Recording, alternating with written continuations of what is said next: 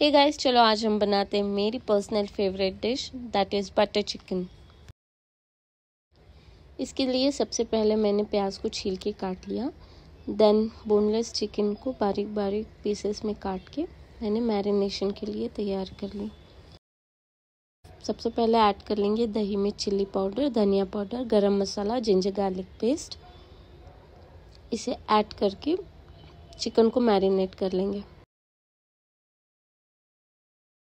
Sauce pan में ले लेंगे थोड़ा तेल, थोड़ा घी या butter I prefer ghee.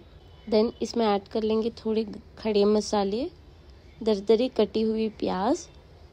Then इसको थोड़ा पकाने के बाद इसमें ऐड कर लेंगे टमाटर, काजू black pepper powder chilli powder garam masala powder धनिया powder ginger garlic paste sugar salt some vinegar और इसे थोड़ी देर पकाने के बाद इसमें ऐड कर लेंगे थोड़ा पानी और पकने के लिए छोड़ देंगे। जब ये थोड़ा पक जाए तो इसे ठंडा करके इसे पीस लेंगे। इसकी फाइन प्योरी करने के बाद एक पैन में छान लेंगे।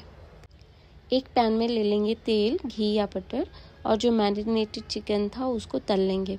चिकन को निकालने के बाद उसी पैन में थोड़ा घी और बटर ऐड करके जो प्योरी बना के रखी थी, उसे ऐड करके थोड़ा क्रीम कसूरी मेथी और चिकन ऐड करके पका लेंगे।